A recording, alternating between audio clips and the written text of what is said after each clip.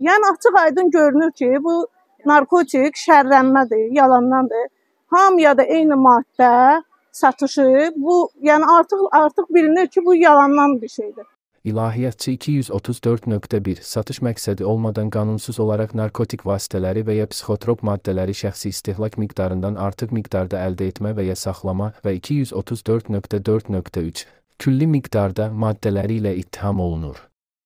Yaxınları bildirib ki, Ruhullah Novruzzadə azadlığa çıxana kimi hər gün onun haqqını tələb edəcəklərini bildiriblər. Məktub gəlir ki, işə baxılacaq. Biz 4 ayda oturub gözləyirik. Ə, İndi də getmişik ə, prokurorluğa, baş prokurorluğa. 4-cü gün qəbul eləmədilər. Hələ bir həftədir gedib gəldik, qəbul eləmirlər. Dünən Suraxanı prokurorluğuna getmişik, orada da qəbul eləmədilər. Sabah da Mehriban xanımın qəbuluna yazılmışıq.